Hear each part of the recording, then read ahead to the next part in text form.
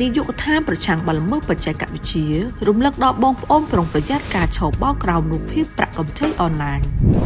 នាយកដ្ឋានប្រឆាំងបលល្មើសបច្ចេកវិទ្យាសូមរំលឹកដល់បងប្អូនទាំងអស់មានការប្រុងប្រយ័ត្ន ការឆោបោកក្រោមរូបភាពប្រាក់កម្ចីអនឡាញដោយនាពេលថ្មីៗនេះមានជនខិលខូចមួយចំនួនបានបង្កើតគណនី Facebook คล้ายៗ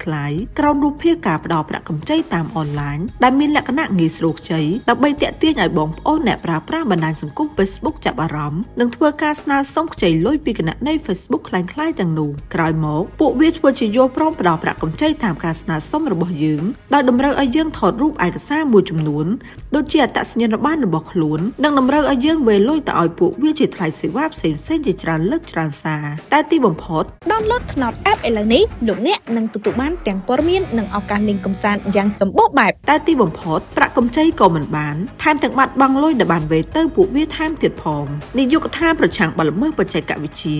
សូមរំលឹកដល់បងប្អូនប្រជាពលរដ្ឋដែលមានតម្រូវការប្រាក់កម្ចី